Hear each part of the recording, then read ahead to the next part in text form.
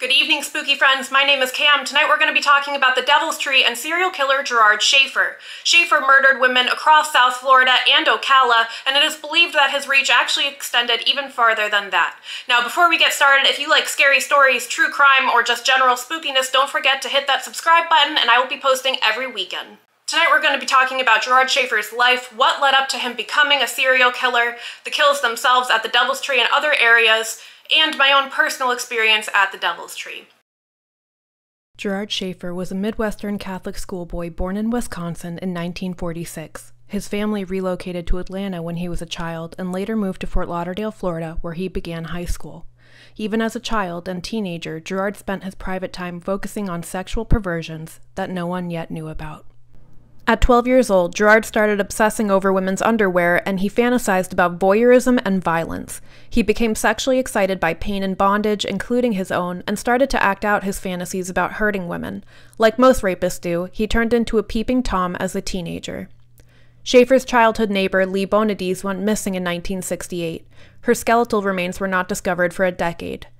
Gerard was suspected of her murder as he had maintained a relationship by playing tennis with her and later admitted to watching her through open curtains. Police eventually found a piece of her jewelry among his possessions. In 1966, Gerard went on tour with the then popular inspirational group Up With People. When Gerard returned to the Fort Lauderdale area, he moved in with his mother looking for a job. He decided to become a high school teacher because he wanted to instruct teenagers about good moral values, which is ironic.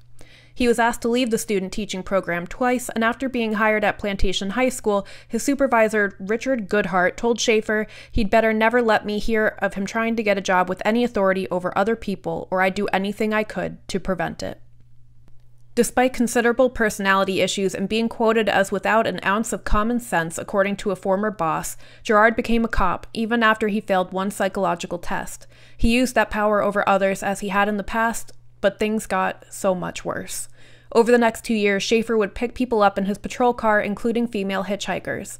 Some were never seen again. October 2, 1966, Nancy Leichner and Pamela Nater, ages 20 and 21, were with their boyfriends in Alexander Springs Park in the Ocala National Forest. While the boys dove and played in the lake, the girls went into the woods. Their bodies were found molested and choked a couple of hours later after their boyfriends called police and a search ensued. Many believed they were Gerard's first victims and he had gotten away with it. He wasn't even a suspect, and some sources say this case is still considered unsolved.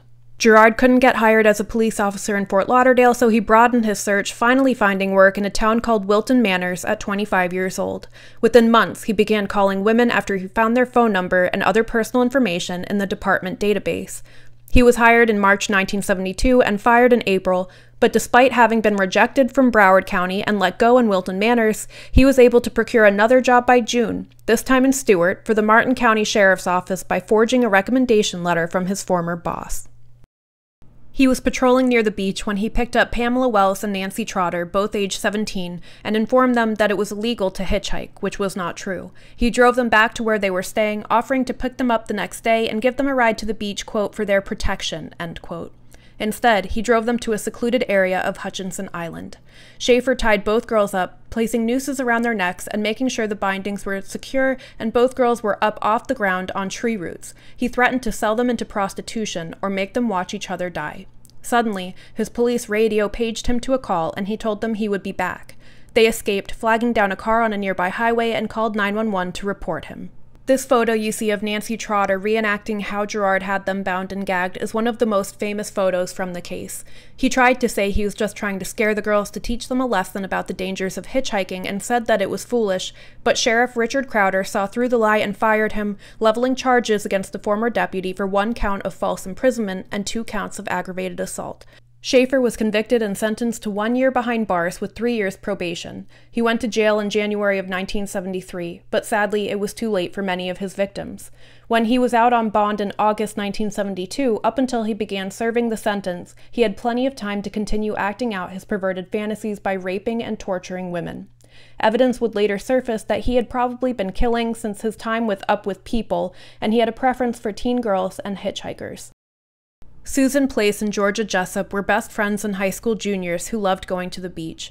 When Susan Place's parents saw her leave, her mother, Lucille, wrote down the license plate of the car they got into. She knew Susan was with a man, but did not know his name. The girls only said that they were going to the beach. Lucille remembered the car, an aquamarine sedan, that pulled up to the house on the night she last saw her daughter. Despite having a name, a license plate tag, and description of the vehicle, the police did not connect Schaefer to Place and Jessup's disappearance until March of 1973. And still, this was only after Lucille found a letter in her daughter's bedroom from Schaefer, used the address on it to locate his house, and led police to him. Schaefer said he didn't know the two girls, but in April, their decomposed bodies were found on Hutchinson Island. Evidence indicated they had been tied to a tree, just like Trotter and Wells had been. Police recognized this work as Schaefer's and immediately knew it was him from his previous crimes. Both had been hacked to death and raped, their bodies mutilated and buried in a single shallow grave. Susan Place had been shot with a bullet through the jaw. After Lucille led the authorities to her daughter's killer in 1973, police searched Gerard's home that he shared with Mommy Dearest and found a pile of incriminating and disturbing items. These included a stash of jewelry and personal belongings that were eventually tied to 38 missing or murdered teenagers. There was also the teeth of 22 year old Carmen Marie Hallock, documents belonging to Colette Marie Goodenough and Barbara Ann Wilcox, two teen girls from Iowa, whose skullless skeletal remains were discovered in 1977 in Martin County, and a journal that Schaefer kept detailing his killings. There was a treasure trove of his writings that detailed sexual torture, dismemberment, and murder. Authorities believed the stories were the true events of his crimes. With the letter Lucille Place had found in Susan's bedroom and a purse belonging to Georgia Jessup recovered from Schaefer's then wife Teresa, police knew they had the necessary evidence to go to trial. None of Gerard's other murders would ever be officially solved, but families finally received some closure, one by one, as police linked missing people and skeletal remains to their loved ones' personal belongings. They finally knew that a serial killer was responsible for the disappearances of these girls and women. Schaefer has also been suspected for unsolved murders in West Virginia, Michigan, and Pennsylvania. One detective said the former cop had the coldest eyes I have ever seen.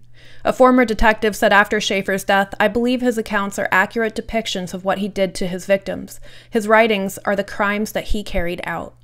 The names of all Gerard Schaefer's victims might sadly never be known. A girl named Nancy Poole was just linked to him this year after being a Jane Doe for 48 years. Most authorities, including the FBI, believe the body count is beyond 30. Schaefer may be responsible for the rape, torture, and murder of 80 to 110 women and girls. He described himself as killing for eight years, and at least three murder victims tied to him were not from the Fort Lauderdale area. He also claimed he killed women on three continents when he spent time in Europe and Africa after his failed stint as a teacher. Gerard also sometimes took his victims to Port St. Lucie, to what is today Oak Hammock Park, to rape, torture, and kill them. He would butcher their bodies and hang them from the tree, then sometimes bury the body beneath it. In most cases, it is believed Gerard had intercourse with the bodies after death. Law enforcement do agree that Gerard killed nine girls and women from August 1969 to October 1972, but many victims are still out there. That's it for tonight, guys. I hope you've enjoyed this video. Again, if you like scary stories, true crime, or anything spooky, please remember to subscribe to this channel. I will be posting a video every weekend from now on. If you have any requests, you can comment them below and maybe I will get to them. Also, please remember to subscribe to my TikTok if you do not already, and my Instagram, where I have a tiny itty bitty following and I would like to grow it. Stay safe out there, guys. I love you, and I will see you next week.